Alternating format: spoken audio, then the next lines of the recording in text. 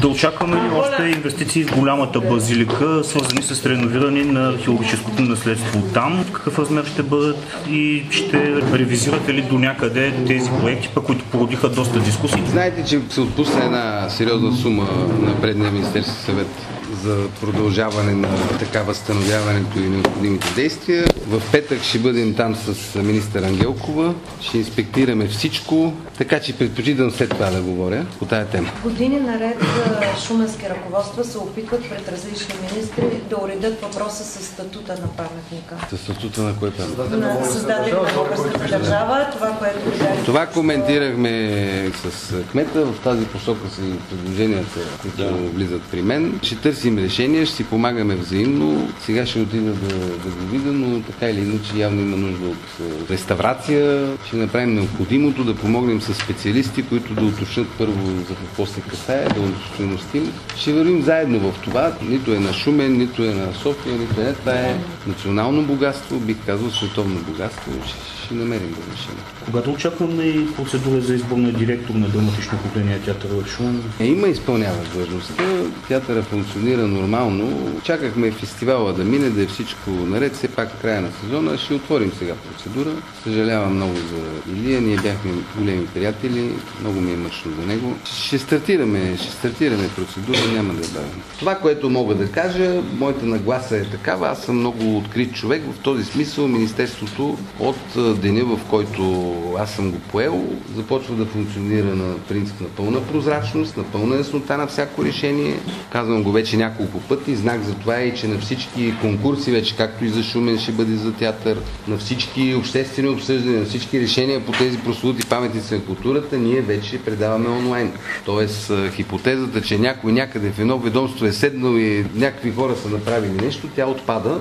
По този път ще вървим. Аз мисля, че на това министерство и в добрите решения, които е взимало, това му липсваше комуникацията с хората, предварителното запознаване с това какво се мисли да се направи и чуването пък съответно на хората вече отдолу, нали, на техните идеи и вписването им в съответни проекти. Така че това е най-ключовото, което искам да променя и го правя в момента практически. Казахте, че в дългосрочен план визията за развитие на културата е да се бяга от централизма на държавата и очакването държавата да бъде. И така е по цял, по цял свят. А, какви са стъпките за децентрализация на културния живот и има ли Министерството ясен поглед какво търси? Министерството има ясен поглед, стъпки за децентрализация, обаче няма да правим, докато не сме сигурни, че економиката ни е стабилна и като дойдем тук с кмета да не разговаряме за покриви и за това, ами иначе всичко да сме оправили, всичко да функционира, кмета да каже, колега, имаме тук възможност даже да създадем един нов оркестър, нали? И тогава можем да децентрализираме.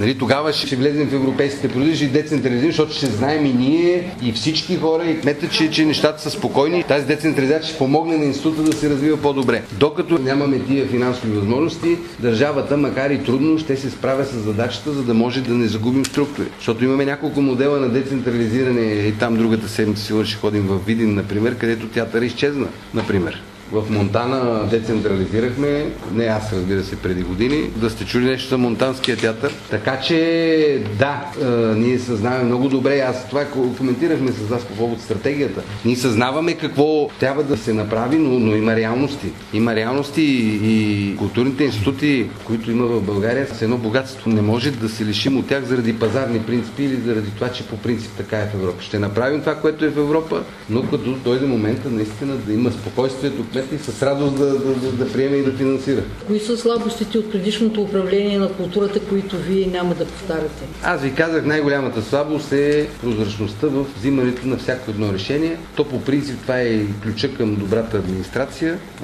възможността всеки гражданин във всеки един момент да е наясно какви актове се извършват, какво се мисли, какво се предлага. Това е ключа.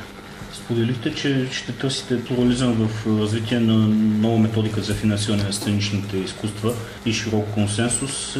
Там бягате от логиката финансиране през единица подаден билет. Една крайно, може би, дясна и ориентирана към финансовата логика. Имате ли готов разчет какво предлагате да замените?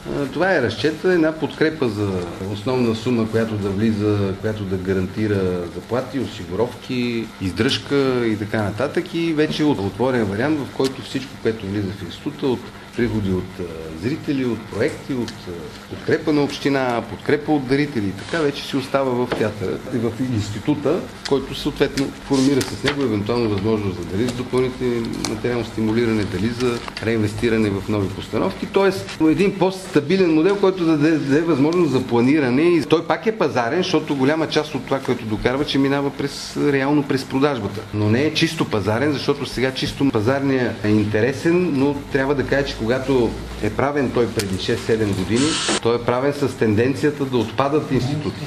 От отпадат, разбирайте, да отиват към общините. Във връзка с това, което говорихме преди малко, че ние съзнаваме ясно, че не сме в ситуация, в която може да пращаме към общините, защото означава, че директно губим културния институт в много места. Варианта леко е бламиран. Пак казвам, това може да стане, ние ще го предложим, но само с категорично решение на гилдията. Нищо няма да налагаме на никой.